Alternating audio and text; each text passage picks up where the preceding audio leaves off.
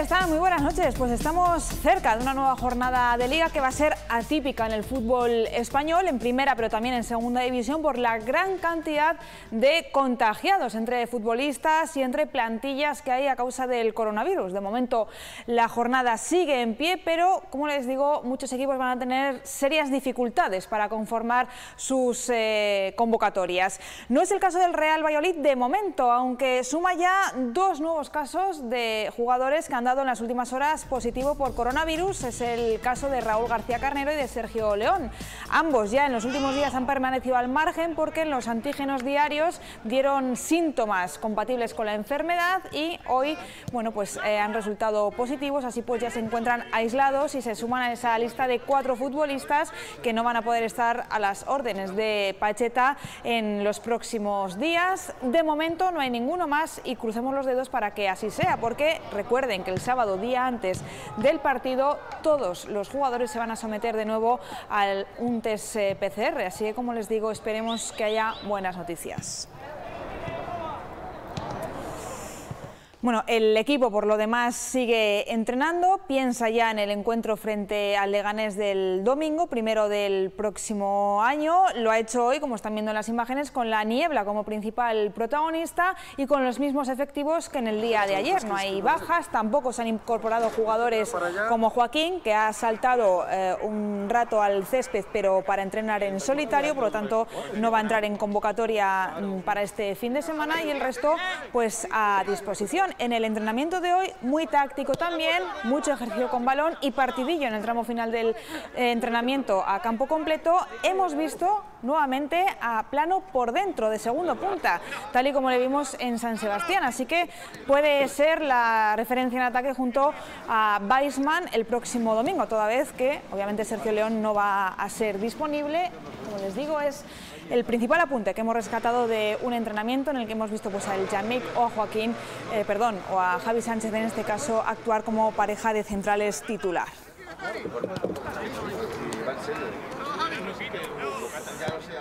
Bueno, poco a poco vamos dando carpetazo a este 2021 que en el caso del Real Valladolid ha tenido de todo, desde un descenso, que ha sido lógicamente lo más importante o llamativo de este año, hasta un cambio de ciclo en la dirección deportiva y también en el banquillo blanquivioleta. Nosotros en el día de hoy, como les digo, apenas un par de días para decir adiós al, al nuevo año, pues hemos querido hacer balance de lo que ha sido este 2021 para el Pucela.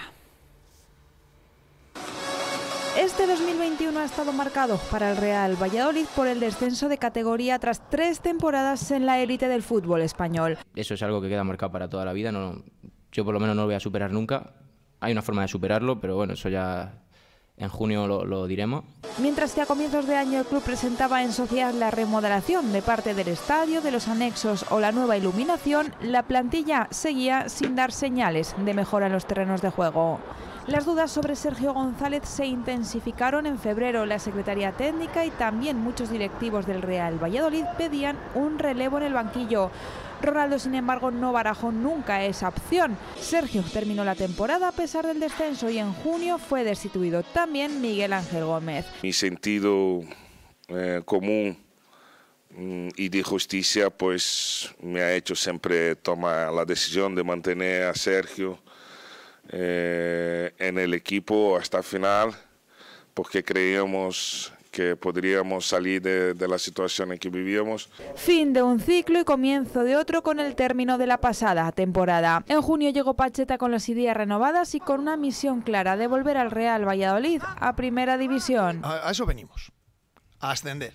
El mercado veraniego ha estado marcado por el volumen de jugadores hasta los últimos días de agosto, por la continuidad de piezas importantes en el proyecto, pero sobre todo por la venta de Marcos André al Valencia por 9 millones de euros, un traspaso que fue clave para la economía de la entidad. Aunque sin duda la temporada ha estado marcada por el regreso del público al estadio un año y medio después.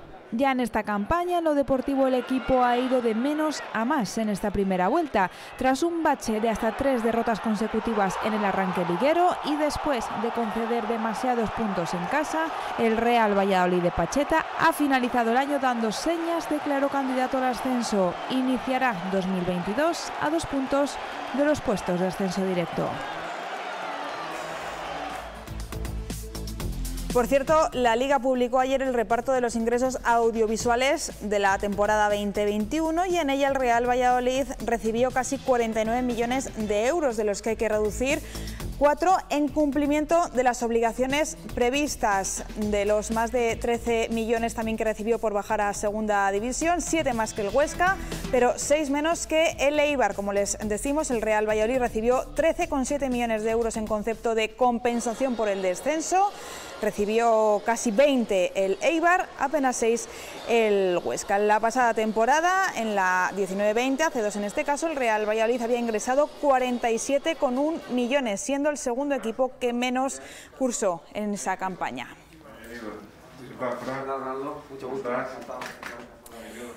Hablamos de balonmano. Hoy se ha hecho oficial que ya hay fecha para el partido aplazado por dos veces entre el Recoletas Atlético Balonmano Valladolid y Vidasoa Deirún. Se jugará finalmente y si el COVID no lo impide por tercera vez el día 24 de febrero a las 8 y media de la tarde y en el Polideportivo Huerta del Rey. De momento ya saben que no hay competición en la máxima categoría del balonmano masculino nacional y estos días hemos asistido, hablando de baloncesto, al torneo clásico de estas fechas navideñas ese campeonato nacional juvenil que concluyó ayer en el Polideportivo de La Vega con la victoria de Valencia por segundo año consecutivo. La decimosexta edición del Torneo Nacional de Baloncesto La Vega comenzó con sobresalto, pero también con la prueba de que el protocolo sanitario ha sido efectivo. El día antes de viajar, el Óvila tuvo varios casos positivos tras realizarse la prueba de antígenos previa al torneo. Así, la organización tuvo que buscar rápidamente un sustituto para los abulenses y se trajo a un club de Madrid, el Eurocolegio Casby, que terminaría en cuarta posición tras perder la final de consolación con el Real Valladolid Baloncesto por 61 a 84. El conjunto local, el Club Baloncesto La Flecha, se impuso al Baxi Manresa por 56 a 52 en la lucha por el quinto y sexto puesto. La final la disputaron el vigente campeón Pamesa Valencia y Cáceres, aunque el encuentro se decidió en un primer cuarto determinante con un parcial de 26 a 8 para los valencianos. Cáceres no se rindió y aunque ganó el segundo cuarto, en el tercero volvió a encajar otro parcial demoledor con 16 a 7 en contra, lo que les colocaba con 29 puntos de desventaja. El último cuarto resultó un trámite en el que pareció jugarse a reloj corrido, porque no hubo apenas ningún parón, ya que el torneo estaba decidido. Al final, Valencia 84, Cáceres 62. Victoria para los valencianos por segundo año consecutivo y satisfacción en el Club Baloncesto La Flecha y en el Ayuntamiento de Arroyo por haber podido recuperar su torneo. En Segopi disponemos de todo lo necesario para redecorar tu casa Segopi es mucho más que pintura. Segopi, ven a conocernos.